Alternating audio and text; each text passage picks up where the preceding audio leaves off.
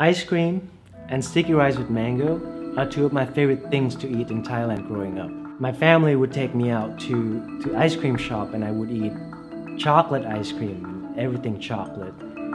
But then one day, this, this shop actually serving mango ice cream with sticky rice on the side. It was brilliant. It was two of my favorite things in one dish.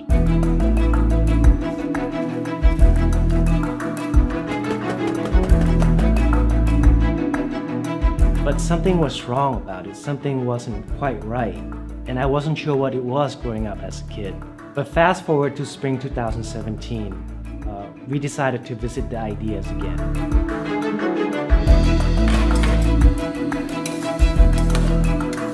The challenge was how do you make mango ice cream that was so silky and smooth, just like the mango that you would get from Thailand? The sticky rice was so simple, yet so delicate. I know it's a big risk. Who would have thought to, to serve ice cream and rice together?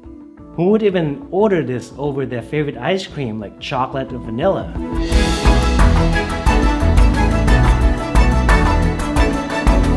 But then during our recipe tasting, when we have all the team together, it, it actually sparked my childhood memory and, and that's when we know we create something extraordinary.